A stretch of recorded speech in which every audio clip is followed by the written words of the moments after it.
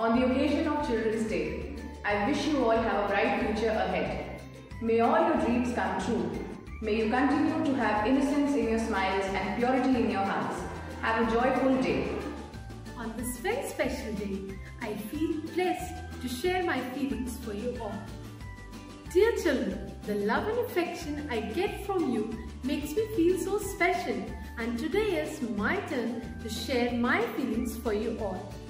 You all are like beautiful flowers. You have special place in our hearts.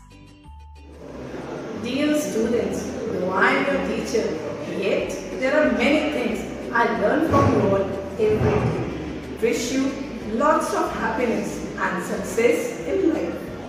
May the purity of your heart never fade. May the laughter and innocence last for a lifetime.